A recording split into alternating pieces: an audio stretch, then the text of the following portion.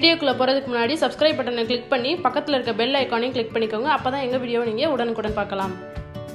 Welcome to Tamil சமையல் இன்னைக்கு நம்ம ஒரு சிம்பிளான வெஜிடபிள் புலாவ் எப்படி செய்யறதுன்னு பார்க்க போகிறோம் அதுக்கு நான் வந்து ஒரு குக்கரில் ரெண்டு டேபிள் ஸ்பூன் எண்ணெய் ஆட் பண்ணியிருக்கேன் இப்போ இது கூட நான் ரெண்டு டேபிள் ஸ்பூன் நெய் சேர்த்துக்கிறேன்.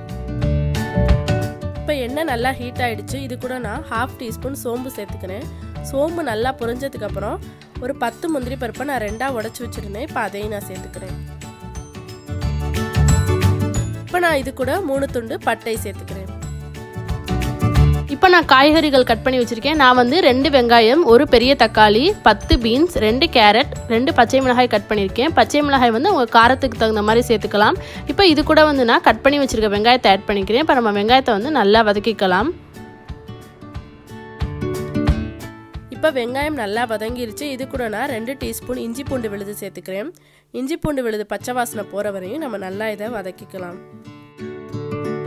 இப்போ இஞ்சி பூண்டு விழுது பச்சை வாசனை போயிருச்சு. இது கூட நான் இப்போ கட் பண்ணி வச்சுருக்க கேரட் பீன்ஸ் பச்சை மிளகாய் சேர்த்துக்கிறேன். இது எல்லாத்தையும் நம்ம நல்லா இப்போ வதக்கிக்கலாம்.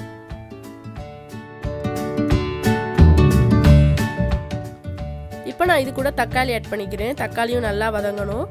இப்போ இதெல்லாத்தையும் நம்ம நல்லா வதக்கி விட்டுக்கலாம். அடுத்து நான் பச்சை பட்டாணி ஆட் பண்ணிக்கிறேன். இப்போ இதையும் நல்லா நம்ம வதக்கிக்கலாம். நான் இது கூட ஒரு கை கொத்தமல்லி ஒரு கை புதினா ஆட் பண்ணிக்கிறேன்.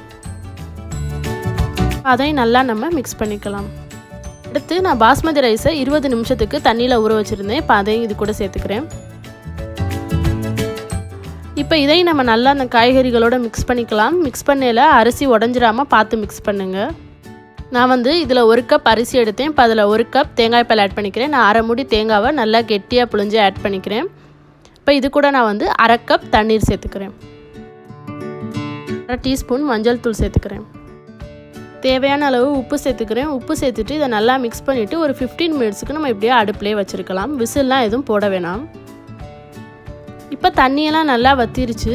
இந்த ஸ்டேஜில் நம்ம தம் போட்டுக்கலாம். தம் போடுறதுக்கு முன்னாடி நான் இதை சமப்படுத்திட்டு இது கூட வந்து நான் இப்போ ஒரு ஸ்பூன் நெய் ஆட் பண்ணிக்கிறேன். உங்களுக்கு நெய் ரொம்ப பிடிக்கும் அப்படின்னா நீங்கள் ரெண்டு ஸ்பூன் கூட ஆட் பண்ணிக்கலாம்.